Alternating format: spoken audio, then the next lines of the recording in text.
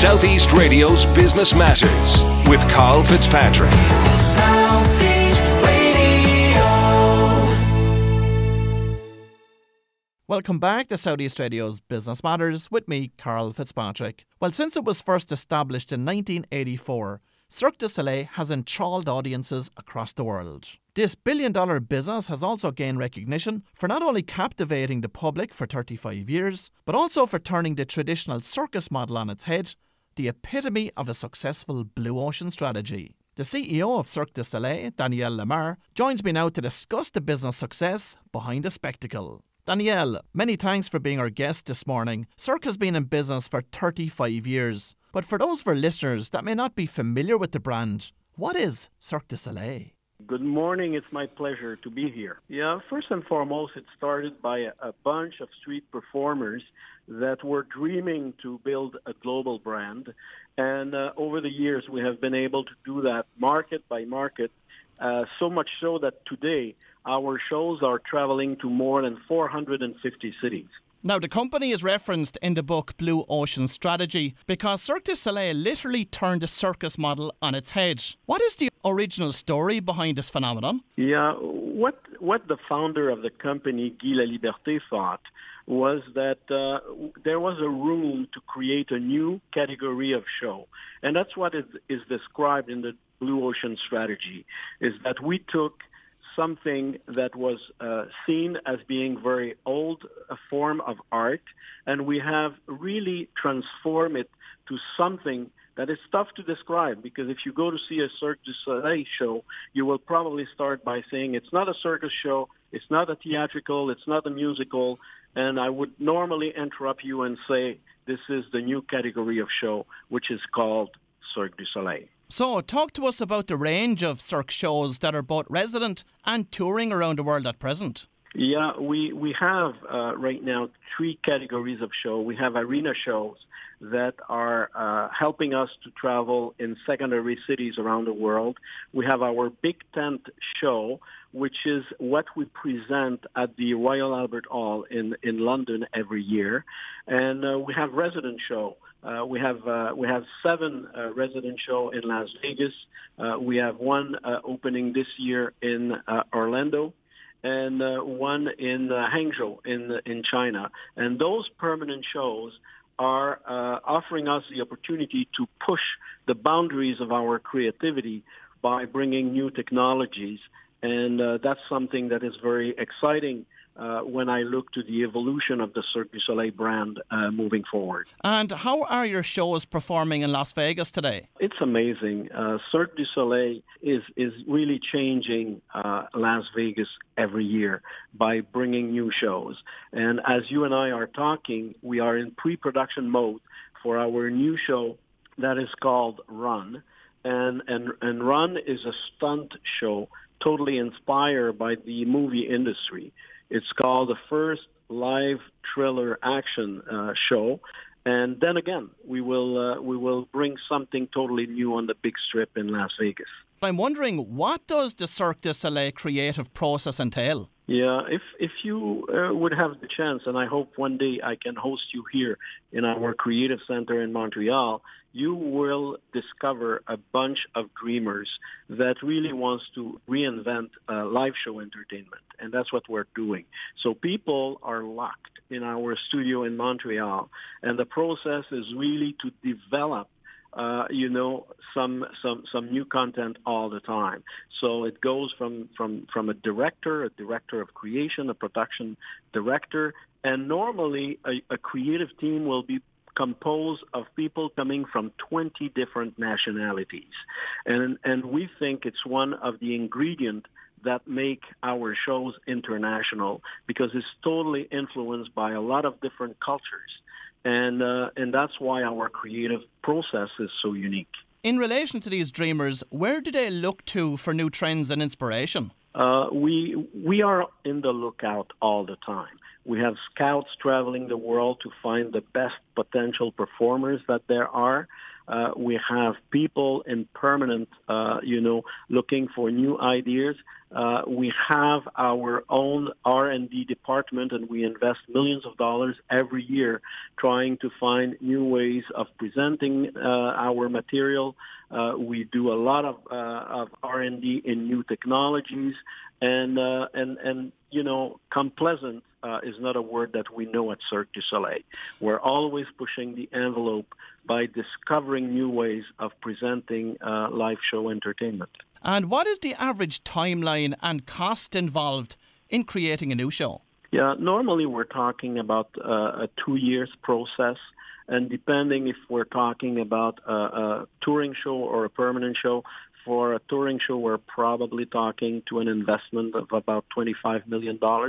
If we're talking to a crazy, extravagant uh, resident show, it can go as high as $50 million.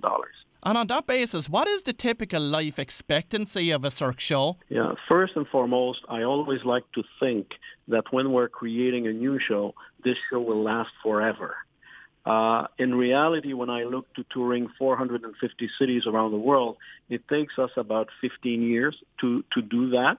And for our per- permanent show, uh, you know, you take a show like Mystère in Las Vegas.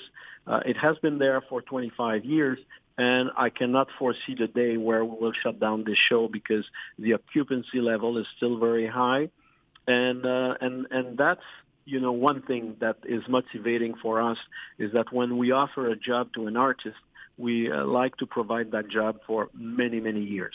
Not every show can be successful, but when a show is underperforming, what actions do you take? It happened once in our lifestyle, and I, I hope it will never happen again. But but the brand is so important that we had no choice, uh, you know, to to shut down the show, uh, and we did that in a very short period of time. Now, I attended your Michael Jackson One show in Las Vegas a few weeks ago. Does the show suffer any adverse reaction following the ongoing controversy surrounding the late King of Pop? Yeah, the, the reality is that people are looking to that show and they're looking to the artist and the famous music that this artist has uh, delivered. And therefore, yes, there has been a, a, a you know some impact for uh, a few weeks but uh, this show is uh, is still uh, very liked uh, by the fan, and uh, and and this show uh, uh, is going to be there for the foreseeable future. And what are the biggest mistakes that the company has made to date, and how have you learned from these mistakes? Yeah, the biggest mistake was, uh, and and I was referring that the show we had to shut down is that we did a show which was uh, a vaudeville show, and uh, we realized that the brand uh, has so such high expectations that if you don't deliver a high level of acrobatic act when you put the name Cirque du Soleil, it doesn't work.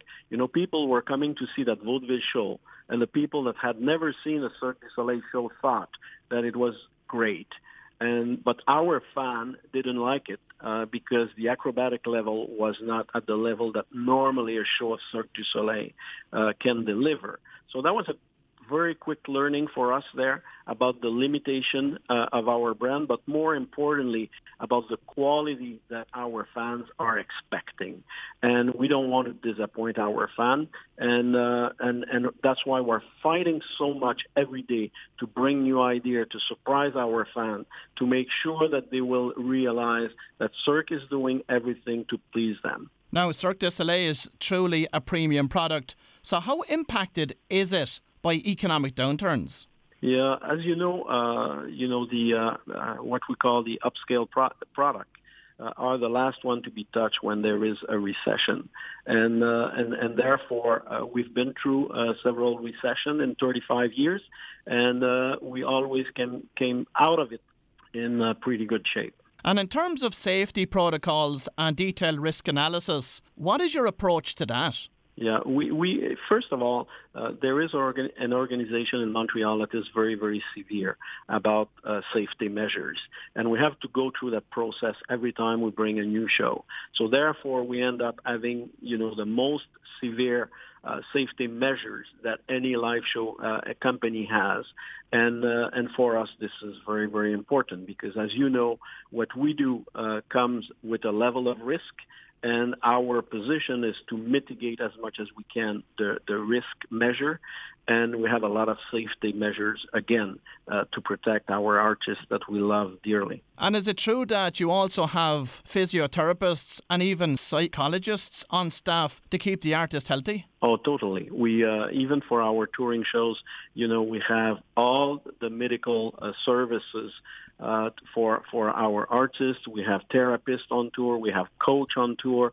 Uh, and and we have to keep our artists pushing the level of performance uh, every day by training a lot. So our artists are also amazing athletes, and uh, we take great pride in bringing them all the support they need to perform at the level that people are expecting.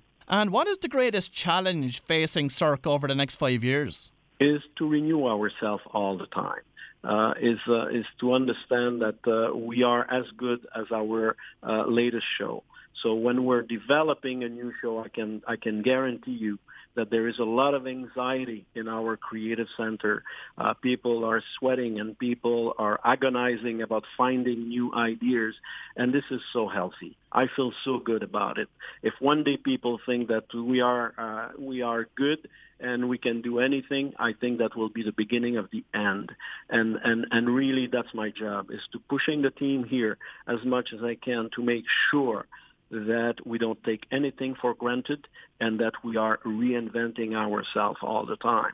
Guy Laliberté has reinvented circus art.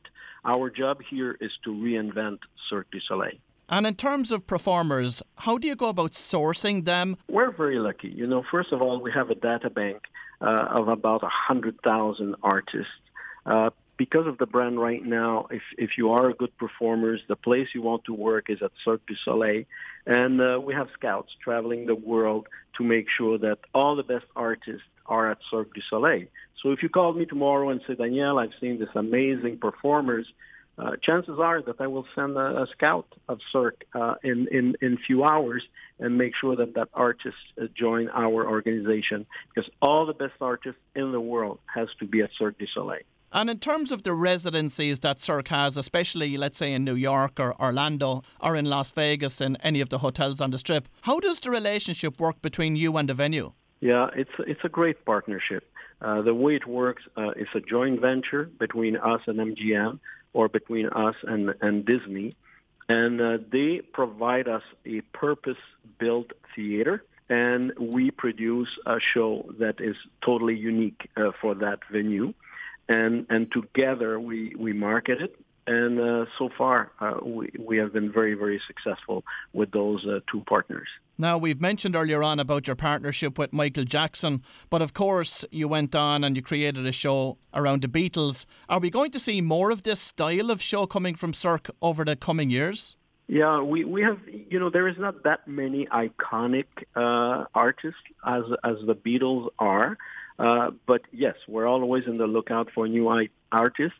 And uh, if for one reason our creators feel that uh, we should partner uh, with a new iconic artist, is it's something that we will explore. And from a logistical perspective, how complex is running this organization? Because it literally is running shows in multiple continents around the world. Yeah, it's it's crazy because uh, the logistic is insane. Because just imagine that you have uh, to travel with 50 van of, of material from city to city with 150 people. And then you have to find a site, you have to go in the city, you have to build the site, and then you have to market the show. And you have a lot of issues such as uh, immigration, uh, uh, all the rules and regulations that are different from one city to the next. So it's uh, it's it's an amazing big, uh, uh, well-fueled machine.